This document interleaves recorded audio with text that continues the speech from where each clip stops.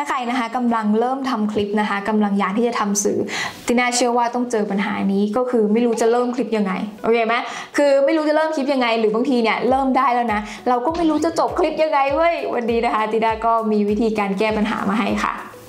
โอเคติน่าก็ทำคลิปมาเกือบ 500 คลิปแล้วเนาะเป็นระยะเวลาเกือบ 5 ปีนะคะ ก็ตีไปก็ปีละร้อยคลิปอะโอเคเพราะฉะนั้นเนี่ยติน่าก็มีแพทเทิร์นนะคะ ที่ติน่าพิสูจน์มาแล้วว่าเฮ้ยมันได้ผลเราพูดแบบเนี้ยแพทเทิร์นแบบเนี้ยมันโอเคเลยนะคะอย่างแรกเลยเนี่ยก็คือให้เราเนี่ยแบ่งคลิปออกเป็น 3 ส่วนนะคะ ส่วนแรกเลยเนี่ยก็คือส่วนของการเกริ่นนะคะส่วนที่2เนี่ยก็คือส่วนของเนื้อหา และส่วนที่3เนี่ยก็คือส่วนท้ายส่วนของการปิดคลิป เวลาที่เราเกริ่นเนี่ยก็คือให้เข้าเรื่องเลยให้เข้าเป็นหัวข้อเลยนะคะ อย่าแบบอย่าากพูดประมาณว่า สวัสดีค่ะ กลับมาพบกับตีน่าอีกแล้วนะคะ วันนี้นะคะตีน่าก็ใส่เสื้อลายดอกไม้ และท้องฟ้าอากาศก็สดใสมากเลยค่ะแหมเมื่อกี้นะคะตีน่าก็ไปเล่นกับแมวมาน้องแมวนะคะ ก็อะไรอย่างเงี้ยไม่ต้องก็ใจว่าไม่ต้องเล่าอะไรยาวเหยียดมันจะมีใช่ไหมเคยดูคลิปประมาณนี้ไหมแบบโหกว่าจะเข้าเรื่องเนี่ยมันเล่าอะไรของมันก็ไม่รู้ถูกป่ะเพราะฉะนั้นเนี่ยเวลาเกินเกินสั้นๆ แล้วก็ถ้าเป็นไปได้ก็ไม่ต้องสวัสดีนะคะ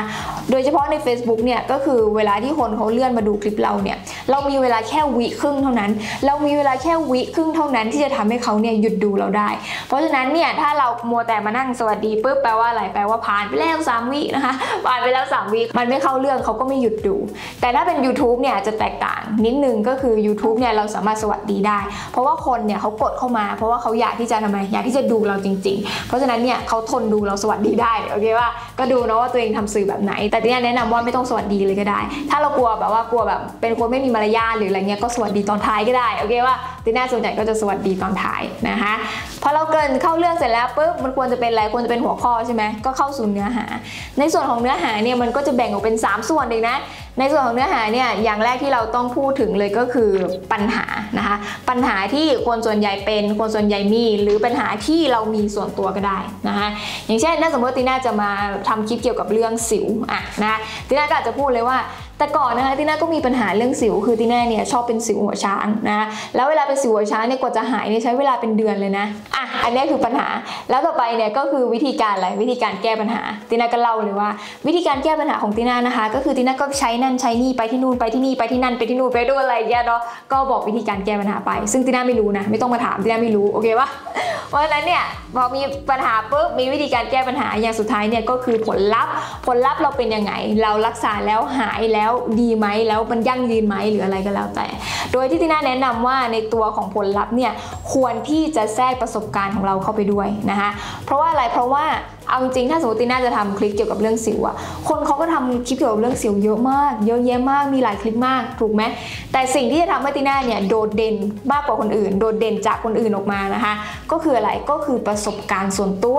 ถูกไหมไม่ว่าจะเป็นเรื่องอะไรคอนเทนต์อะไรก็แล้วแต่นะ มันจะต้องมีคนทำเหมือนเหมือนเราคล้ายๆ เราอะแต่วิธีที่จะทำให้เราแตกต่างเนี่ยคืออะไรคือเราแทรกประสบการณ์ส่วนตัวเข้าไปถูกปะอย่างตีน่าเนี่ยทำคลิปสอนภาษาใช่ปะ โอ้มีตั้งหลายคนนะมีครูตั้งหลายคนนะที่เขาสอนภาษาอังกฤษ แต่ถ้าสมมติว่าตีน่าใส่ประสบการณ์ของตัวเองแทรกเข้าไปปุ๊บตีน่าแตกต่างขึ้นมาทันที แล้วมันก็จะเพิ่มรสชาติให้กับคลิปของเรานะคะอ่าอย่างเช่นถ้าเป็นคลิปสอนภาษาของตีน่าตีน่าก็อาจจะแทรกประสบการณ์ว่า วิธีนี้นะตีน่าไปใช้แล้วได้ผล บางทีเนี่ยเราอาจจะไม่ต้องพูดแบบถูกไวยากรณ์ก็ได้ตีน่าเคยพูดกับฝรั่งนะคะ ไม่ถูกไวยากรณ์แต่เขาก็ฟังรู้เรื่องอ่าแต่ถ้าสมมติว่าพูดแบบนี้เนี่ยเขาจะฟังไม่รู้เรื่องเลยเพราะฉะนั้นอย่าพูดแบบนี้อะไรเงี้ยตีน่าก็แทรกประสบการณ์ส่วนตัวของตีน่าเข้าไป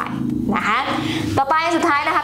บคลิป เวลาที่เราจบคลิปเนี่ยเราจะมาสวัสดีบ๊ายบายเฉยได้ไหมไม่ได้นะคะเวลาเราจบคลิปเนี่ยเราต้องบอกคนดูว่าเราอยากให้เขาทำอะไรนะคะเช่นเราอยากให้เขากดไลค์เราอยากให้เขา subscribe เราอยากให้เขากด follow เพจเราเราต้องบอกนะคะเพราะว่าถ้าเราไม่บอกเราจะมาหวังให้เขาแบบไปกดเองหรืออะไรเงี้ยบางทีเขาก็ลืมเข้าใจไหมพอเขาดูคลิปเราจบเนี่ยเขาก็เตรียมที่จะทำไมละเตรียมที่จะไปดูคลิปอื่น เพราะฉะนั้นถ้าเราไม่บอกเขาว่าเขาต้องทำอะไรต่อเนี่ยเขาก็จะไม่รู้ก็คือเหมือนกับมันไม่ได้